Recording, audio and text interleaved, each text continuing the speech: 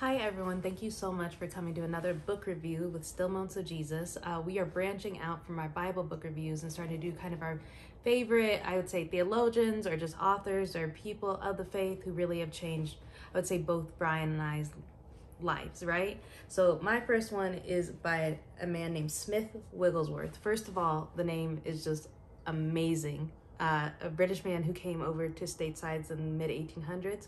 But the important thing about Wigglesworth, which I appreciate, is that he really tackles the Holy Spirit. And when I say that, I mean, even in the first statement, he cites 2 Timothy 1 6, stir up the gift of God which is in you.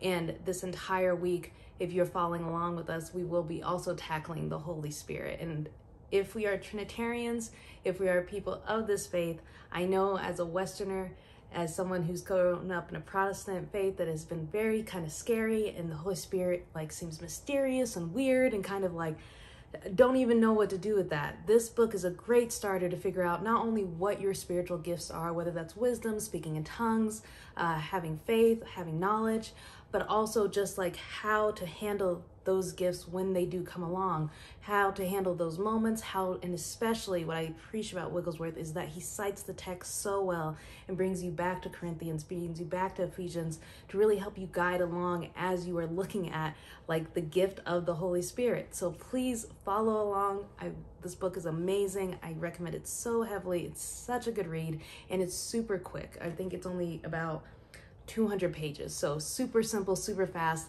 I promise that it'll change your life. Thank you.